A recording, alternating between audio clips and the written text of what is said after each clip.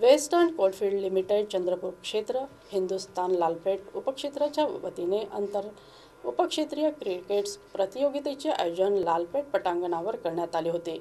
या प्रतियोगितेचे चौदा डिसेंबरला मान्यवरांच्या हस्ते उद्घाटन करण्यात आले. या क्रिकेट प्रतियोगितेत चंद्रपूर क्षेत्रातील अनेक संघांनी समावेश घेतला होता. या तीन दिवसीय क्रिकेट स्पर्धेमध्ये हिंदुस्थान लालपेठ उपक्षेत्र डी आर सी उपक्षेत्र दुर्गापूर उपक्षेत्र पद्मापूर उपक्षेत्र चंद्रपूर मुख्यालय व भटाडी क्षेत्रातून कामगार व अधिकाऱ्यांनी टीमद्वारे क्रिकेट खेळाचे उत्कृष्ट प्रदर्शन करून असंख्य प्रेक्षकांची दाद मिळवली.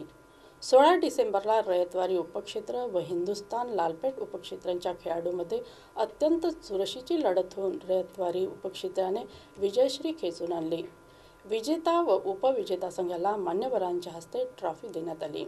इंडियन टीम का कैप्टन छतरी जो थे, अभी जो मैचेस हुए थे पाँच नेशंस के, जब उन्होंने पहला मैच खेला तो प्लेयर्स तो खेल रहे थे, लेकिन पब्लिक बड़ी नाराज़ थी। तो उनको रिक्वेस्ट करना पड़ा कि कम से कम फुटबॉल देखने के लिए लोग आए तो सही।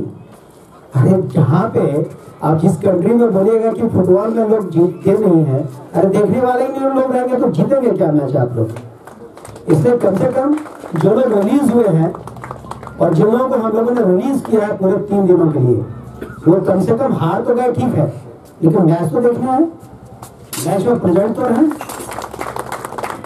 अगर आप लोग की इजाज़त हो तो मैं आज हाजिरी ले लेता हूँ।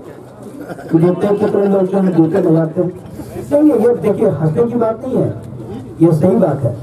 लोग तीन तीन दिन के लिए रिलीज़ होते हैं और एक मैच खेल के नजारत हो जाते हैं और उसके बाद ना ड्यूटी करते हैं, ना मैच में देखने आते हैं।